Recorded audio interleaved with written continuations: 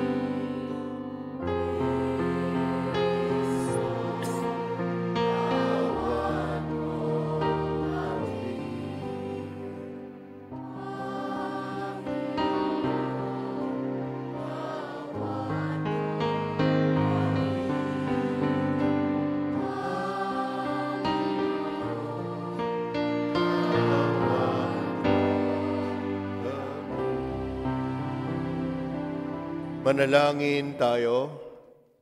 Ama naming makapangyarihan, ikaw ay nakikipagkasundo sa sangkatauhan sa pamamagitan ng iyong salita. Sa masigasig na pagsamba at matibay na pagsampalataya, ang sambayan ng Kristiyano ay makadulog nawang masaya sa pagdiriwang ng dakilang kapistahan ng pagkabuhay. Sa pamamagitan ng Yesu Kristo, kasama ng Espiritu Santo, magpasawalang hanggan. Amen. Magsipo po ang lahat. tayo po ay dadako sa unang bahagi ng pagdiriwang, ang pagpapahayag ng salita ng Diyos.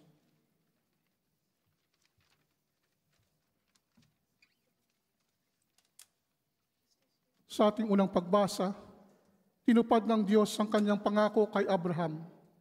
Bagaman sila'y paulit-ulit na tumalikod sa kanya, naging tapat pa rin ang may kapal sa kanyang pangako. Pagbasa mula sa aklat ni Josue. Nung mga araw na iyon, sinabi ng Panginoon kay Josue, Inalis ko ngayon ang kahihiyan ng pagkaalipin ninyo sa Ehipto. Samantalang nasa Gilgal, sa kapatagan ng Jericho ang mga Israelita, ipinagdiwang nila ang Paskwa noong hapon ng ikalabing apat ng unang buwan. Kinaumagahan, araw pa rin ng Paskwa, kumain sila ng mga pagkaing inani nila sa lupaing yaon. Sinangag na trigo at tinapay na walang libadura. Pagkakain nila ng pagkaing inani sa lupaing iyon, tumigil na ang pag-ulan ng mana. Kaya't mula ng taong iyon, pagkaing inaani sa kanaan ang kanilang ikinabuhay. Ang salita ng Diyos. Salamat sa Diyos.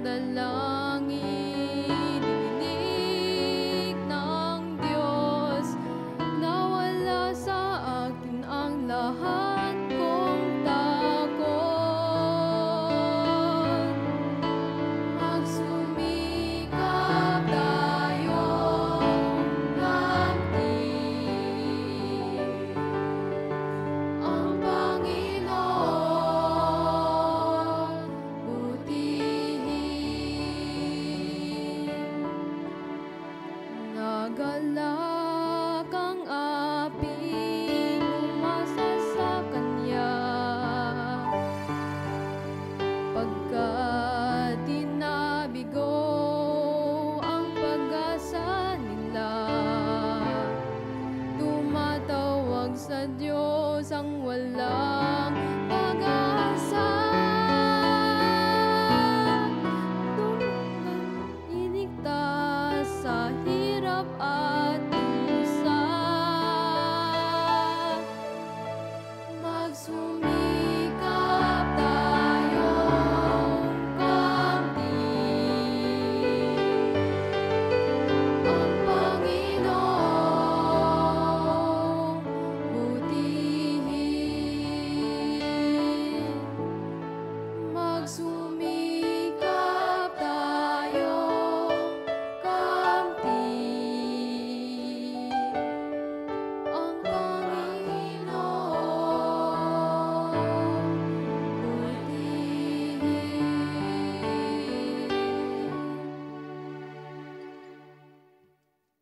Sa ikalawang pagbasa, sa pamamagitan ng kamatayan at muling pagkabuhay ni Kristo, ipinagpapanumbalik ng Diyos sa kanyang sarili ang sangkatauhan. Sa pamamagitan ni Kristo, nagapi ang paghahari ng kasalanan.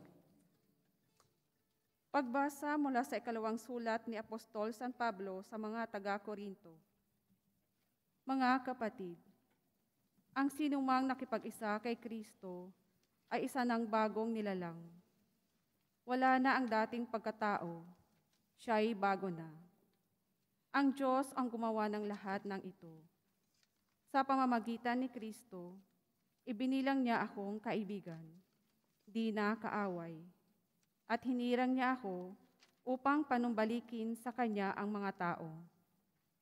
Ang ibig kong sabihin, ang tao'y ibinibilang ng Diyos na kanyang kaibigan sa pamamagitan ni Kristo at nililimot na niya ang kanilang mga kasalanan at ipinagkatiwala niya sa akin ang balitang ito. Kaya't ako'y sugo ni Kristo, parang ang Diyos na rin ang namamanhik sa inyo sa pamamagitan ko, makipagsundo kayo sa Diyos. Hindi nagkasala si Kristo, ngunit dahil sa atin, siya ibinilang na makasalanan upang makipag-isa tayo sa Kanya at mapabanal sa harapan ng Diyos sa pamamagitan niya. Ang salita ng Diyos. Salamat sa Diyos. Magsitayo po tayong lahat upang pagbigay galang sa mabuting balita.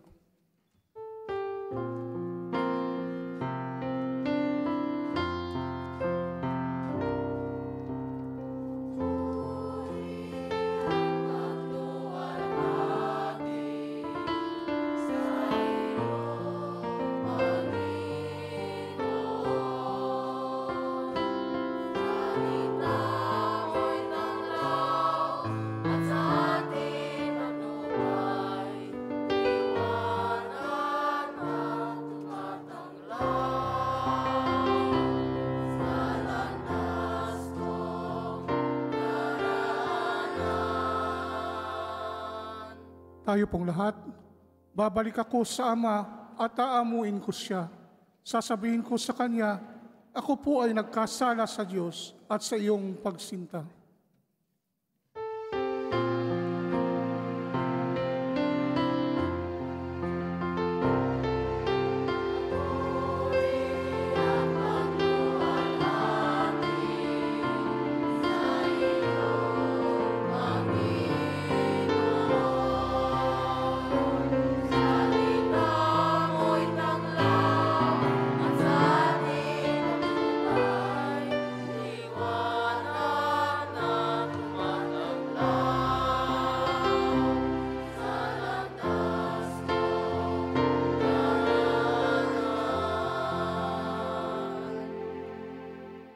Sumayin niyo ang Panginoon, At sumayin niyo rin. ang mabuting balita ng Panginoon ayon kay San Lucas. Papuri sa iyo, Panginoon.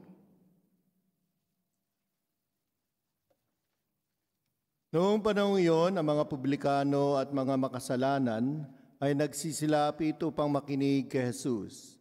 Nagbulong-bulungan ang mga pariseyo at mga eskriba, ang sabi nila, ang taong ito ay nakikisalamuha sa mga makasalanan at nakikisalo sa kanila.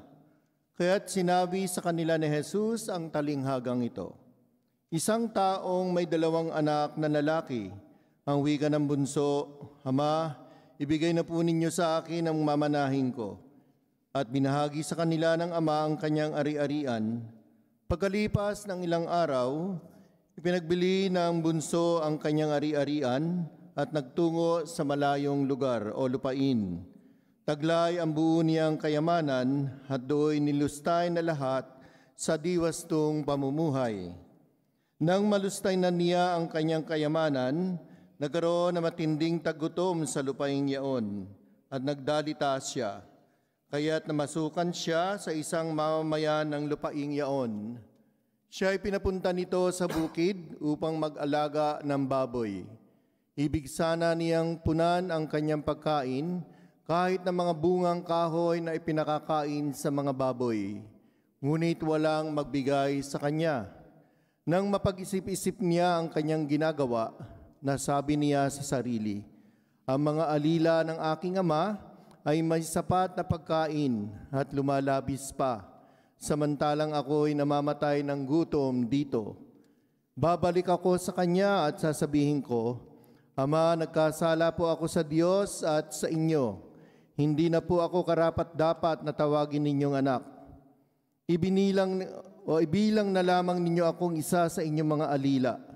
At tumindig siya at pumaroon sa kanyang ama. Malayo pa ay natanawan na siya ng ama at ito'y labis na nahabag sa kanya. Kaya't patakbo siyang sinalubong, niyakap at hinagkan.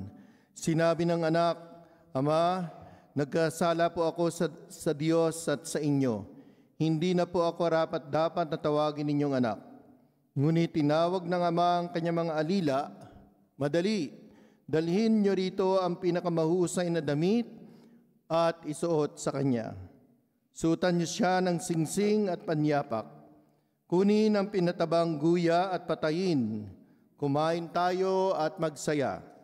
Sapagkat namatay na ang anak kong ito, ngunit muling nabuhay, nawala, ngunit nasumpungan, at sila ay nagsaya.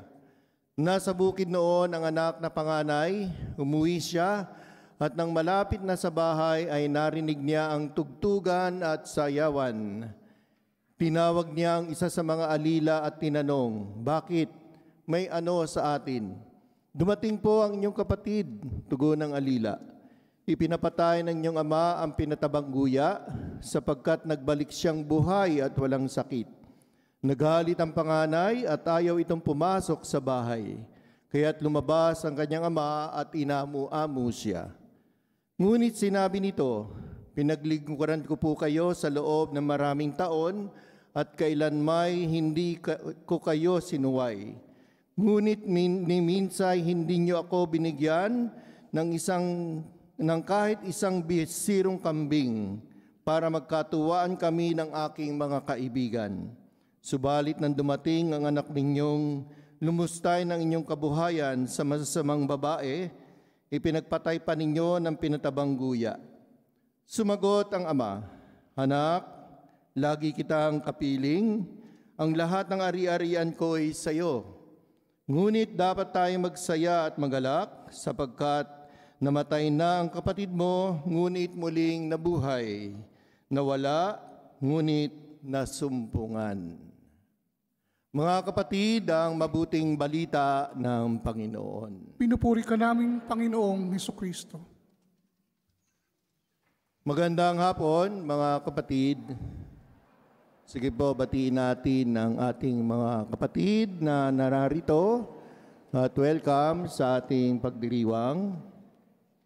So natunghayan natin sa ating ebanghelyo ang isa sa pinaka-popular na uh, ebanghelyo uh, kapag tayo ay nasa kwaresma o kaya ay may retreat, no?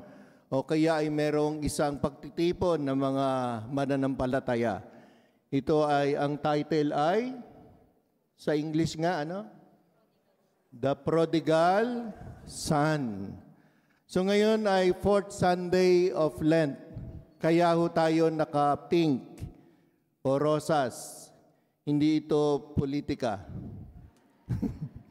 Mga mamaya sabihin nyo, si Father, oh, ay, hindi ako kasama ho ito sa liturgical color ng ating simbahan. Pag uh, uh, ano to, yung Advent, meron ding kulay pink.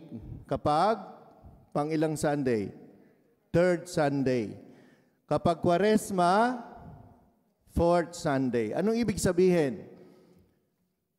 Uh, ang tawag ay Gaudete Sunday. So merong uh, galak na nararamdaman.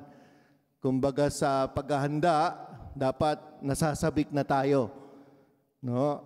Kasi 'di ba ang ating Kwaresma, ang tawag natin ay apat na pong araw ng paghahanda para sa para saan? Sa Pasko ng muling pagkabuhay. So ano yung mensahe sa atin ng Panginoon? Siguro naman, ano, habang binabasa ko, ako nga, nung binabasa ko, medyo naantig na yung puso ko eh.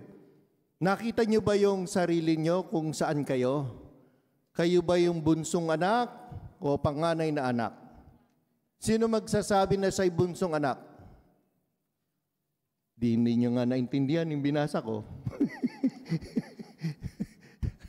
Anong ginawa ng bunsong anak? Sinu, ah, hindi, ano po, ah, pag sinabi nating yung bunsong anak, siya yung umalis at lumaya sa sa kanilang tahanan at lumustay ng ah, and then afterwards, ano ang kanyang na-realize? Na siya ay nagkasala. So yung panganay, anong ginawa? Nagselos kasi sabi niya, buong taon nasa inyo ako, ni hindi niyo ako pinagpatay ng kambing. Puro baboy ang inyong pinatay. So nasaan kayo ron? Sino magsasabing siya yung bunsong anak? Na nag napariwara ang buhay. Ang babait niyo talaga, hindi kayo napapariwara. O si nagselos ng panganay na anak, taas ang kamay. Ano ba kayo talaga? Asaan ba kayo? O kasi kailangan makita natin yung sarili natin eh. Baka nandun kayo sa tatay. O sino yung tatay? Ah, kasi minsan, itong title ng prodigal son, ibinibigay sa prodigal father. Hindi naman ibig sabihin ng prodigal son ay masama yung ibig sabihin ng prodigal eh. Ibig sabihin ng prodigal ay yung may ginawa ng hindi maganda, no? Pagmamahal pa rin ang ipinakita. Palagay ko, ito talaga ang pinapakita ng Diyos sa ating lahat. Kahit gaano kalaki, ga, kahit gaano ka, ka, kalalim ng kasalanan ginawa natin, anong ginagawa ng Diyos sa atin? Pinapatawad. Ang problema lang po natin, hindi tayo umaamin ng kasalanan natin. Kailangan muna nating aminin bago tayo patawarin ng Diyos. Hindi ho pwedeng, di ba, sabi nga nila eh, ba't pa ako pupunta sa pare para mag-confess? Pwede naman akong dumiretso. Saan ka didiretso? Saan? Kailangan nating dumaan sa proseso. Process po itong ginawa ng bunsong anak. Hindi ba? Lumayas. No? Tapos napagtanto niya na ano, na, na-realize no, yung kanyang kasalanan. And then repentance. Kasi hanggat di natin inaamin ang kasalanan natin, hindi tayo magsisisi sa kasalanan natin. Kaya dapat inaamin ang kasalanan. Anong kasalanan? Kasi di ba minsan o madalas ang sinasabi natin, eh, hindi naman ako may kasalanan. Yung katabi ko. Di ba? Sabi natin, minsan nagiging temptations of sins. Temptations, yung ating kapalagiran.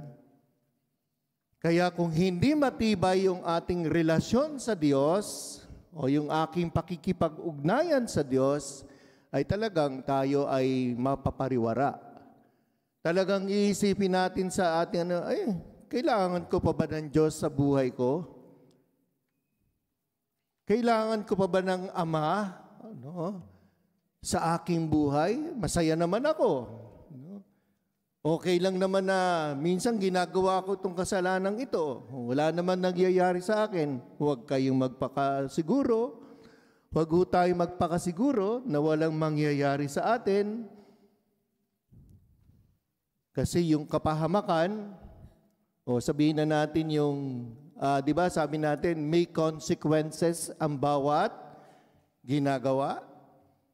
Kapag gumawa ka ng mabuti, anong consequence? Ano yung, sabihin na natin, yung, yung karma. Kasi may good karma and bad karma eh. Kasi yung karma, yung salitang karma, hindi yan ginagamit sa kristyanong buhay. Kasi yung karma is an Hindu word, no? Pero doon tayo nasanay eh. O pag gumawa ka na mabuti, ano ang kapalit? kabutihan. Kapag gumawa ka ng masama, ano? Siyempre. Ngayon, kung mananatili tayo doon sa paggawa ng hindi kaaya-aya sa mata ng Diyos, kasi minsan or madalas sinasabi natin, ah, um, pag nandyan ng aking mga kasama, kailangan mabait ako. Kapag may nakakakita, kailangan behave ako. Kapag andyan ang aking boss, kailangan magtrabaho ako ng tapat. Kapag may mayroong nakatingin sa akin, kailangan ah, ano ako, no, behave ako. Ganun ba yun? Hindi natin alam, kahit saan ka nandoon, kahit nag-iisa ka, kahit ano pang ginagawa mo, may nakatingin sa'yo. Sino yun? Sinong nakatingin? Diyos. Kaya wala tayong maitatago sa Diyos, mga kapatid. Kahit sabihin na natin, ayoko mag-confess, ayoko pumunta sa sakramento ng pakikipag-isang o pakikipagkasundo ng confession. Ano mangyayari sa atin kung mananatili tayong matigas ang puso at kalooban at ulo natin? Ano mangyayari sa atin? Kapahamakan. Kaya hindi gagawin ng Diyos na manatili tayo sa ating kalagayan ng kasalanan. Kaya sabi ng pagbasa ng second reading, ano sinabi niya? Ang nakikipagkaisa kay Kristo ay, ano po? Ay kaibigan ng Diyos. Ang nakikipag-isa o nakikinig kay Kristo ay itinuturing na anak ng Diyos. Hindi naman tayo pinipilit ng Diyos eh, na magbalik loob sa Kanya. Inaanyayahan niya lang tayo. Ipinapa, ano lang, pinapaalala niya lang sa atin. Kung talagang tayo pipilitin ng Diyos, no, to force us to change, isang ganun lang ni Lord yan. Di ba? Walang imposible kay Lord eh.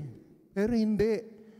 Ito rin yung tanda ng pag-ibig ng Ama sa ating lahat. Binigyan niya tayo ng free will, ng kalayaan ng sarili para piliin ang tama at mali. Pero since mahal tayo talaga ng Diyos, ibalik naman natin sa Kanya yung pagmamahal. Napiliin ang tama at nararapat para sa Diyos. Inaabuso natin yung pagmamahal ng Ama eh. Yun talaga yung ano eh, yung term we abuse no the kindness of God to all of us. At ayaw ng Diyos na mangyari yon. Alam niya kasi ang kahinatnan eh. Ayaw niya yon, ayaw niya mangyari. Kaya ito na, panahon na ito. This is the fourth Sunday. Alam niyo kung gaano kasaya kapag tayo nagbabalik loob, di ba? Na, naranasan niyo yan. Pag nag-confess ka, parang nawawala yung, alin? Yung bigat ng dibdib. Nung nakaraan nga, may nag-confess eh, nung linggo. Di ba yung pinakilala ko sa first, ano, sa communion? Natatandaan ko pa yung pangalan niya, si Amor. Hindi ko naman sasabihin yung kasalanan niya. Pero nung nagko-confess siya, umiiyak siya. Kasi yung kanyang tagal na hindi niya, ano eh, yung hindi niya paglapit sa Diyos sa pamamagitan ng simba, ng sakramento, etc. Sabi niya in the end, lumuwag po yung aking kalooban, Father. Kaya siya yung una kong pinakon-communion eh, sa, sa, ano, sa pila. And this is also true. Alam niyo ba na yung kwento ng kapag meron pong, alam niyo yung ano, yung, yung isang tao na nagiging santo, anong tawag doon? Canonization. Di ba may ano yan, may seremonya sa Vatican? Na kapag meron talagang kina, kinakanonize at magiging santo, ang saya ng mga anghel sa langit. Pero mas masaya at nagtalagang nag, nagagalak ang mga anghel Meron pang bangkete, yung kainan. Kapag merong isang nagbabalik loob na nilalang, mas masaya ang kalangitan kapag meron pong nagsisisi, umaamin sa kasalanan at bumabalik sa Ama. Kailan kaya mangyayari yon? Sino kaya ang mag, magbibigay sa atin ng lakas ng loob? Wala namang ibang magbibigay ng lakas ng loob eh, kundi ang Panginoong Yeso Kristo. Kaya yung prayer is very important. Yung prayer of uh, renewal. Yung panalangin para sa pagbabago ng sarili. Siyempre, marami tayong pangangailangan sa buhay. Pero unahin muna natin yung panalangin sa pagbabago ng sarili ng buhay. At ipagkakaloob yan ng Diyos. Wala namang ibang magbabago sa atin, kundi ang Diyos. Hindi kayo kayang baguhin ng mga retreat at recollection. Kanina ho, nag-recollection to mga kapatid nating choir members. Hindi ko kayo magbabago ng instant yan hanggat hindi natin isinusuko sa Diyos ang sarili natin. It's only God who can change us, who can renew us, who can transform us. Ang kailangan lang, aminin ang kasalanan at magsisi. God bless us all.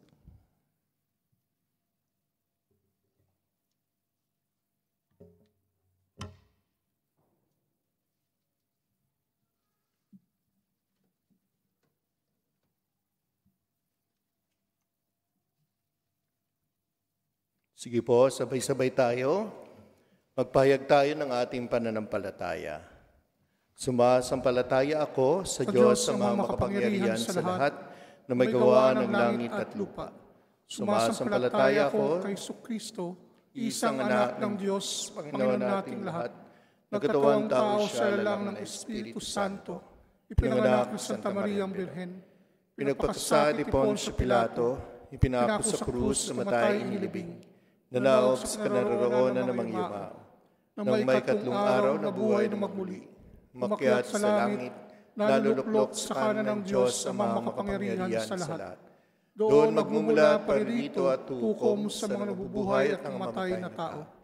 Sumasampalataya naman ako sa Diyos Espiritu Santo, sa banal na simbahang katolika, sa kasamahan ng mga banal, sa kapatawaran ng mga kasalanan, sa pagkabuhay na muli ng namatay na tao, at sa buhay na walang hanggan. Amen. Ama naming mapagkalinga at mapagpatawad, kami nagbabalog loob ng may galak sa puso, sapagkat lubos ang iyong pag-ibig sa tanan. Umaasa kami na sa iyong patuloy na pagkalingat pagkamaawain habang kami dumadalangin at ang tugon. Mahabaging Ama, dinggin mo kami. Mahabaging Ama, dinggin mo kami. Maging buhay na tanda nawa ang lahat ng kasapi ng simbahan ng pag-ibig at pagpapatawad mo, Ama, lalong-lalo na sa mga taong tumalikod o nagdududa sa pananampalataya. Manalangin tayo. Mahabaging Ama, dinggin mo kami. Magsumikap nawa ang mga kawani ng pamahalaan na panatalihin ang kapayapaan, pangalagaan ang kalikasan, at ipagtanggol ang karapatang pangtao.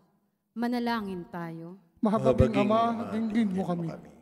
Maging daan nawa ng awa at pag-ibig ng Diyos ang kabataan, lalo na sa kanilang pamilya, mga kaibigan, at sa mga taong nakararanas ng matinding kalungkutan at pagdurusa. Manalangin tayo. Mahabaging Ama, dinggin mo kami. Gamitin nawa ng bawat isa ang social media upang ipalaganap ang kultura ng pagkakaisa at katotohanan at labanan ang kultura ng galit at kasinungalingan. Manalangin tayo. Mahabaging Ama, dinggin mo kami. Matagpuan nawa ng mga minamahal naming pumanaw ang kapayapaang walang hanggan sa yakap ng Panginoon. Manalangin tayo. Mahabaging Ama, dinggin mo kami. Sa ilang sandali ng katahimikan, itaas natin sa Diyos ang ating personal na kahilingan, gayon din ang mga taong lubos na nangangailangan ng ating panalangin.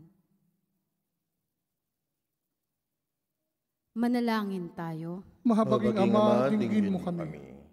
Pamanahing mahabagin, dinggin mo ang dalangin ng iyong bayan at gawin mo kaming marapat na ikay makapiling alang-alang kay Kristong aming Panginoon. Amen.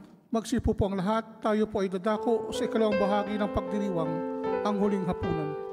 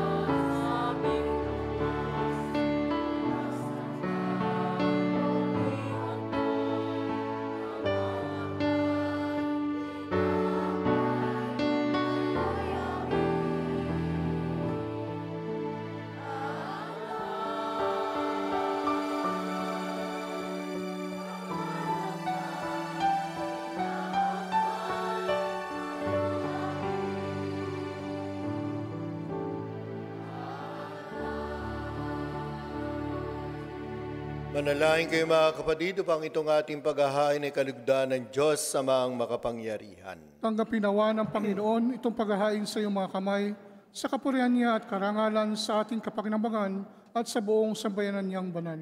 Ama namin lumikha para sa paghahain nagbibigay kagalingan, kami ngayon ay masayang nagsisipag-alay, kalakip ang dalangin amin nawang maidangal ang pagdiriwang na ito ng banal na pakikinabang at maidulot nawa ito para sa kaligtasan ng tanan. Sa pamamagitan ng Yeso Kristo, kasama ng Espiritu Santo, magpasawalang hanggan. Amen.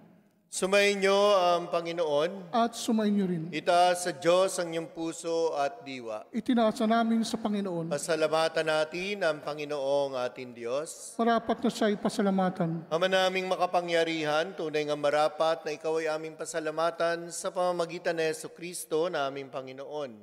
Minabuti niyang maging dinaiba sa amin upang ang sangkatauang namuhay sa dilim ay kanyang maakay sa pananalig na sa liwanag ng iyong pag-ibig. Kaming ipinanganak noong una bilang alipin ng dating nagkakas, pagkakasala ay kanyang hinugasan sa tubig na muling pagsilang upang maitampok bilang mga kapatid niya sa iyong angkan. Kaya kaisa ng mga anghel na nagsisiawit ng papuri sa iyo nang walang humpay sa kalangitan, kami nagbubunyi sa iyong kadakil.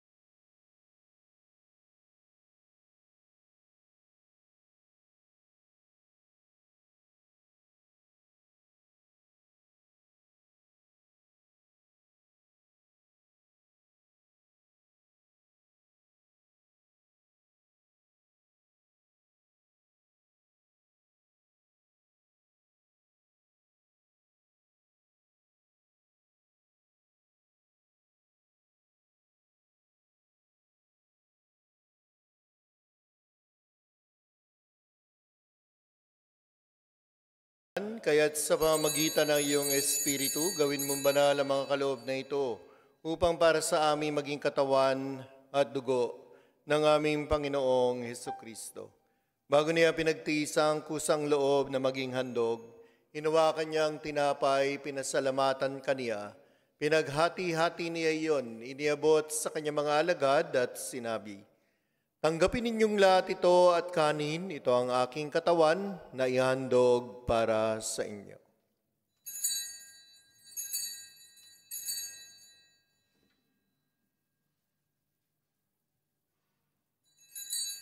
Gayun din naman na matapos ang hapunan, hinawakan niya ang kalis, muli kanyang pinasalamatan. Iniabot niya ang kalis sa kanyang mga alagad at sinabi, Tanggapin ninyong lahat ito at inumin. Ito ang kalis ng aking dugo, ng bago at walang hanggang tipan. Ang aking dugo na ibubuhos para sa inyo at para sa lahat sa ikapagpapatawad ng mga kasalanan. Gawin ninyo ito sa pag-aalaala sa akin.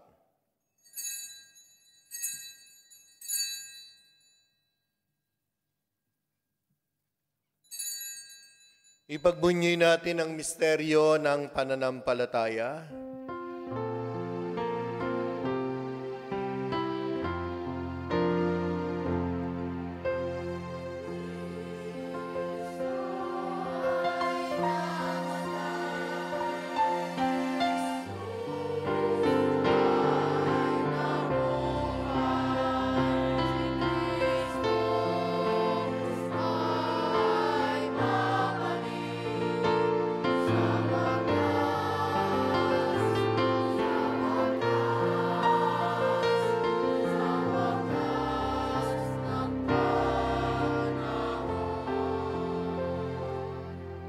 Ang ginagawa namin ngayon ng pag-alala sa pagkamatay at muling pagkabuhay ng iyong anak, kaya tinialay namin sa iyo ang tinapay na nagbibigay buhay at ang kalis na nagkakalob ng kaligtasan.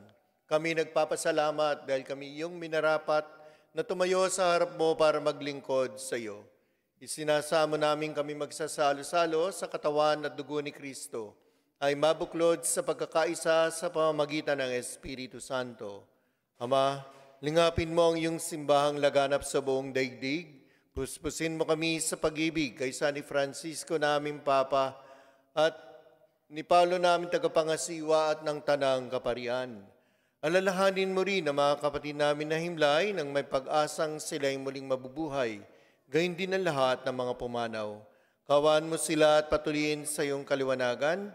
Kawan mo at pagindapating kaming lahat na makasalo sa iyong buhay na walang wakas. Kaysa ng mahal na Berheng Maria na ina ng Diyos, ni San Jose na kanyang esposo, ng mga apostol at ng lahat ng mga banal na namuhay dito sa daigdig ng kalugod-lugod sa iyo. May pagdiwang nawa namin ng pagpupuri sa ikararangal mo sa pamamagitan ng iyong anak naming Panginoong Heso Kristo.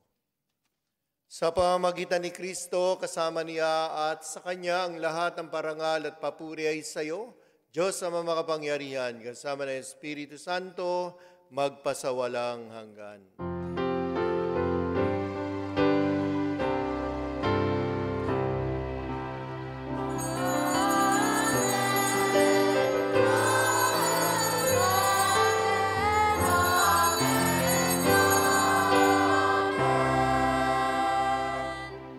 Ngayon, sama-sama tayong tumawag sa ating Ama, alinsunod sa itinuro ng Panginoong Yesus.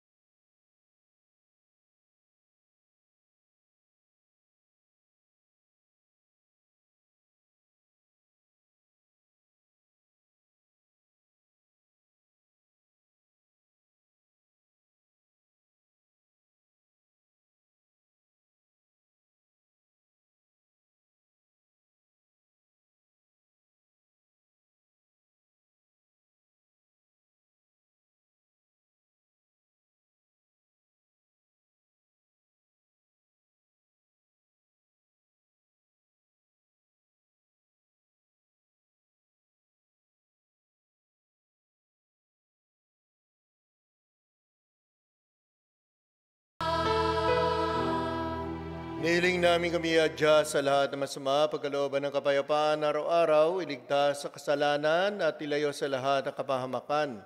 Samantalang aming pinananabikan ang dakilang araw ng pagpapahayag ng tagapagligtas naming si Yesu Kristo.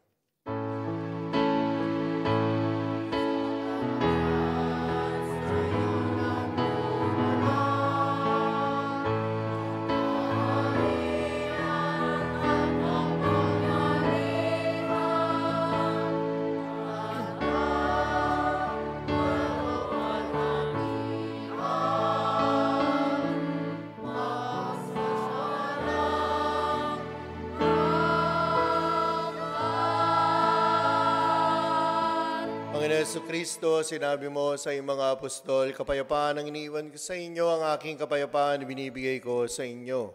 Tungayan mo ang aming pananampalataya at huwag ang aming mga pagkakasala. Pagkalooban mo kami ng kapayapaan at pagkakaisa, ayon sa iyong kalooban, kasama ng Espiritu Santo, magpasawalang hanggan. Amen. Ang kapayapaan ng Panginoon ay laging sumainyo. At sumanyo rin. Magbigayan kayo ng kapayapaan sa isa't isa.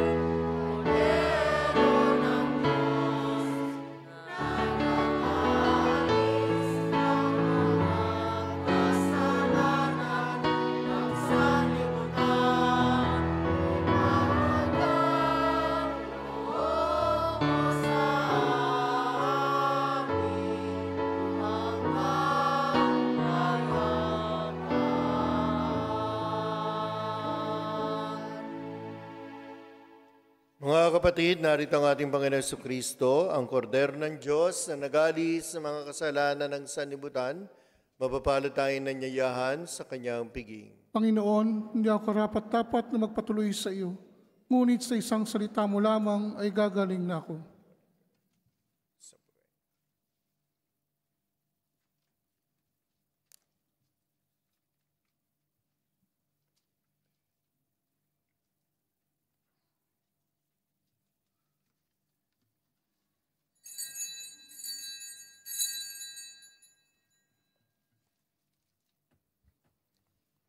Panalangin sa pagtanggap na espiritual na komunyon. Aking Jesus, nananalig akong ikaw ay nananahan sa pinakabanal na sakramento. Mahal kita ng higit sa lahat ng bagay at nais kong tanggapin ka sa aking kaluluwa. Subalit sa sandaling ito, ikaw ay hindi ko matatanggap sa banal na komunyon. Naway tanggapin kita ng espiritual sa aking pagnanais na ito at pumasok ka sa aking puso. Niyayakap kita na parang naririto ka nasa akin at pinagkakaisa ko ang aking sarili sa iyo. Huwag mong hayaang ako'y mawalay sa iyo. Amen. Ninanais ko po, Panginoon, na tanggapin kayo na may kalinisan, kapakumbabaan at debosyon tulad ng pagtanggap sa inyo ng manal na inang, Maria, at sa diwa ng pananalig ng mga santo. Amen.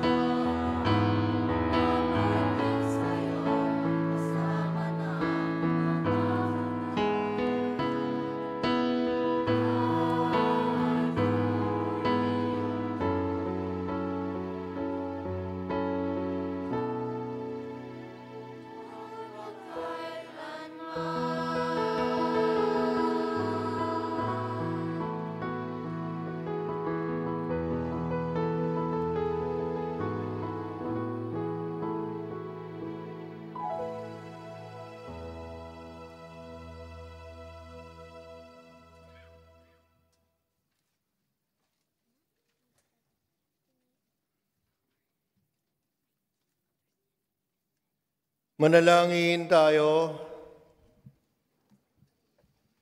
Ama naming mapagmahal, tinatanglawan mo ang lahat ng tao na isinilang o isinisilang sa daigdig na ito. Sa kaloob mong liwanag, tanglawan mo ang aming kalooban upang ang dapat naming isaloob na iyong ikinalulugod ay lagi naming isaisip at ikaw ay aming wagas na maibig.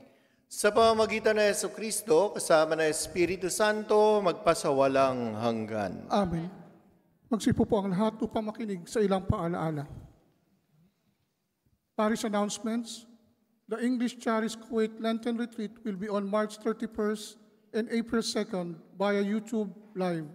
It will be guided by Father Jose Betian Nikal, PC, Director of the Lagos Retreat Center, India. For further details can be found on the notice board. On Wednesday, April 6th at 6.30 p.m., the Charism celebrated Mass will be celebrated by the Apostolic Nuncio, Archbishop Eugene Martin Nugent, our Apostolic Administrator, Bishop Paul Hinder, Monsignor Mario BP, and priests of Kuwait, Bahrain, Qatar, Saudi Arabia, and other guest priests. The faithful is invited to attend.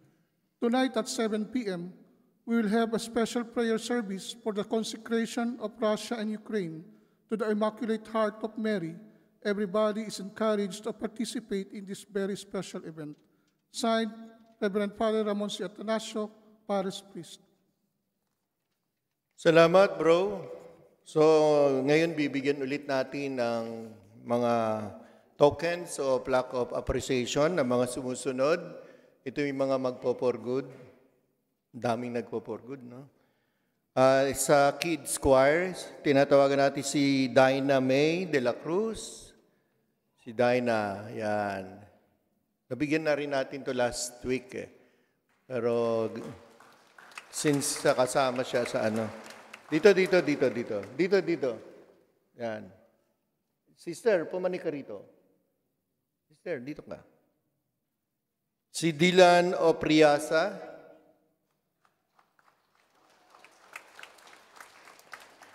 Wala siya? Si Dylan? Ah, ayun, ni anak ni Mabel. At si Suf- Sofia, Sofia, Sofia Opriasa, yung magkapatid. Ayan. Sila yung mga mag-for good. Kasi ho, mag-aaral sila sa Pilipinas. No? Dina, doon kayo mag-aaral sa Pinas? Kasi mahal dito. Oo, maging ano na tayo, maging totoo na tayo talaga. So pasalamatan natin itong mga batang ito. Ah, na, na- naglingkod sa atin. Ito, altar server, naging sakristan, at yung dalawa ay mga singers natin. Kasama rin po si Denmer de la Cruz. Andito ba si Denmer? Ah, ah. Oh, alam ko, nasa Pinas tong si Denmer eh. Magga-graduate na to ng college, di ba? Merci. Nakipag-marites ka dyan. Gagraduate na tong si Denmer, di ba? Graduate na ng college. Oh, yun. Dati ring sa Kristan ito eh. So, binibigyan din natin siya ng ano, ng appreciation. Salamat. Palakpakan natin itong mga batang ito. Salamat ha. At pagpalain kayo ng Panginoon at kayo gabayan sa inyong pag-aaral sa Pilipinas. God bless you. God bless. Ayan. Salamat. Thank you. So yung in-announce kanina, yung 7 o'clock ng gabi ngayon, inaanyayahan po ang lahat na makiisa po sa pag, ah, special prayer of consecration to the Immaculate Heart of Mary. Yun pong kapayapaan sa Russia at sa Ukraine. Kasi napakahalaga po natin na ipanalangin ang sitwasyon na ito. Kung hindi ho natin to ma, ma- ano, no, mas ma, mapipigilan sa pamamagitan ng prayers, very dangerous po kasi ito. So, kung free po kayo mamayang gabi, dito po gagawin uh, with our nuncio and other priests and dignitaries, mga ibang pare sa ibang mga ah, simbahan dito sa Kuwait, magkakaisa po tayo sa panalangin mamaya. If you are free, you are invited. Salamat po sa inyong lahat. Salamat sa naglingkod sa ating choir. mga lectors, commentators, mga sakristan, ang ating Eucharistic ministers, ang ating mga service ministers, ang ating mga technicians, siyempre, kayong lahat po, maraming maraming salamat sa inyong lahat. Sa walang anyong sawa na pagparito at magsakripisyo kayo. Pagpatuloy po natin ito. Thank you very much. Tayo na po. Sumayin niyo ang Panginoon At sumayin niyo rin. Yumuko at hingin ang pagpapala ng Diyos. Ang manay mapagpala, tulungan mong mamalaging maligaya sa banal na pakikinabang ang iyong sambayanan at makapanatiling magkamit ng gantimpalang iyong inilaan. Sa pamamagitan ng Yeso Kristo, kasama ng Espiritu Santo, magpasawalang hanggan. Amen. At pagpalain kayo ng makapangyarihan Diyos, Ama, Anak at Espiritu Santo. Amen. Tapos na ang ating pagdiriwang, humayo kayong taglay ang pag-ibig upang ang Panginoon ay mahalin at paglingkuran. Salamat sa Magandang Diyos. hapon. Pasalamatan natin si Lord sa mga biyaya at pagpapala.